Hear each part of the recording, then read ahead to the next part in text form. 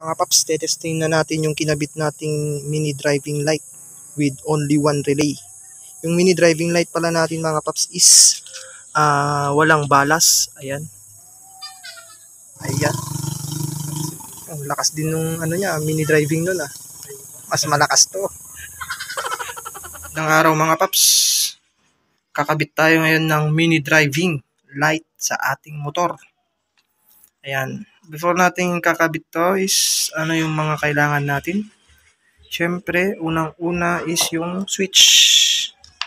Yan. Pumili kayo ng domino mga paps. Mas maganda to. Ah, mas matibay. Saka siguradong magandang tignan. Kesa mga mura lang na 3-way switch. 3-way switch po to mga paps. Ayan.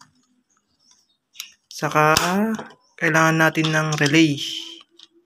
Yan yung mga ordinarong, ordinaryong relay lang to na nabibili sa mga shop mga paps. Ito yung hanapin yung mga paps. Meron at meron to. Bosch ang tatak. Yan.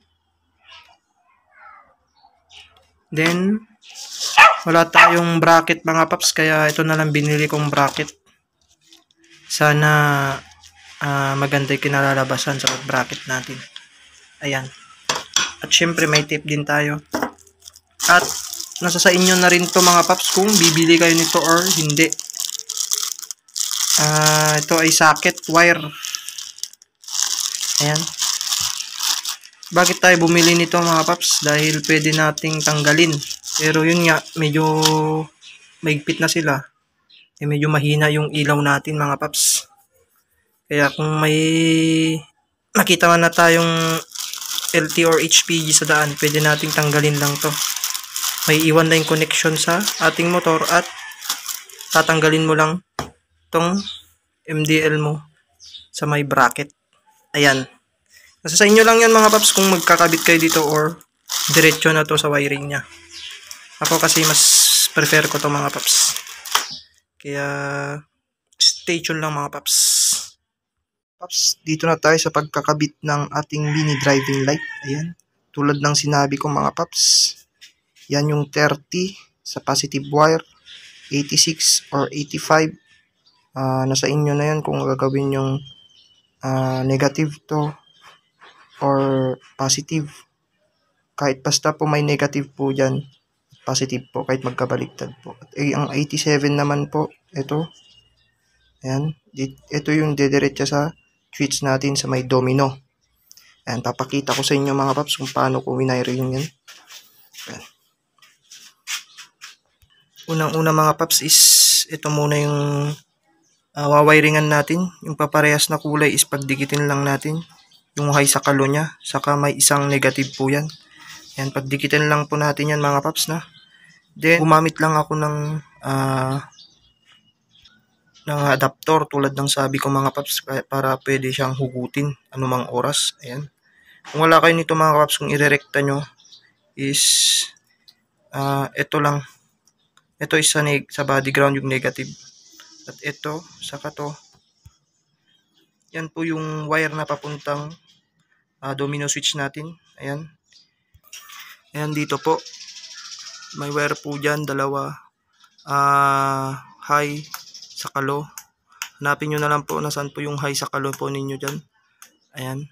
Taka yung, bali tatlong wire po to, yung, yung isang wire is, yun yung pupuntang uh, ah, 87, number 87 sa ating relay.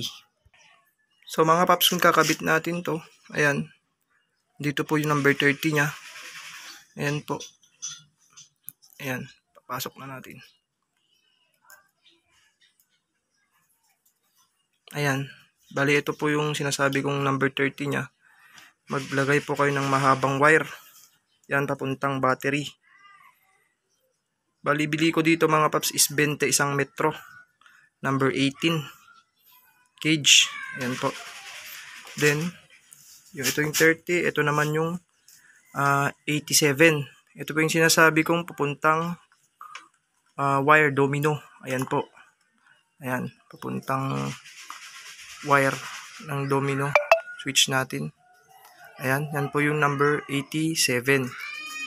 Natitirang dalawa po dito, 85 saka 86. Diyan po, mamimili po kayo ng isa dyan kung anong gagawin yung negative. That dahil yung isa po ay kakabit natin sa positive.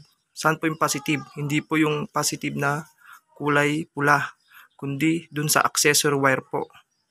Ayan. Dahil ito po yung ginamit nating positive mula sa battery. Accessory wire para sa kanyang on-off. Pag sinusi na po natin yung motor, ayan po. Para dun po yun mga paps. Yan. Then yung isa po, kung ito yung ginawa nating positive sa accessory wire, syempre yung sa kabila po is gagawin nating ah, negative sa body ground or sa negative wire po dito. Ayan po. Ang natitira na lamang po ay number... Ay, wala na. Nakabit na pala natin lahat. At ito po, nakikita nyo, 5 pin po yung gamit natin. Yung nasa gitna po is, di na po natin kinabit yan. Ayan na po. Patay na po yan. Yung apat lang po yung kinabit natin. Number 30. Ay, ito sa kabila. Number 30, 87, 86, or 85. Ayan po. Ganyan lang naman kasimple mga paps. Magkabit ng mini driving. Alam kong magagawa nyo to mga paps, no? Kung naguguluhan kayo is ulit-ulitin nyo lang po tong video na to at yung ginawa nating diagram. Ayan po. Siya nga pala mga paps, sa pagkakabit po nito is dapat meron kayong fuse. Pag yan, pinunta natin sa ating battery, yan, dito sa ating battery, is dapat may fuse po tayo na nakaabang dyan. Para in case po na magka-short is di po madadali yung ating load sa ating motor. Unang madadali po is yung fuse natin. Mga paps, tetesting na natin yung kinabit nating mini driving light with only one relay. Yung mini driving light pala natin mga paps is ah, walang balas. Ayan. Kaya tetestingin natin kung malakas ba or hindi. Ayan. Yan yung kanyang ah, sariling headlight. Yan yung low at yan yung high. Tignan natin yung diferensya mga paps. Putayin na natin yan. Then, pindot natin yung low. Yun. Lakas mga paps. Kitang kita. Kung titignan nyo sa personal mga paps is talagang makikita mo yung talagang bilog niya. Yan, hindi siya sabog. Kanyang high. Yun. Kita hanggang langit. Layo mga paps. Ilang me- meter yan. Yung sa bilog ng high niya, dalawang span eh, layo eh. Yan yung low niya mga paps. Yun lang mga paps. Habang kayo sa ating ah, wiring diagram. Ayan.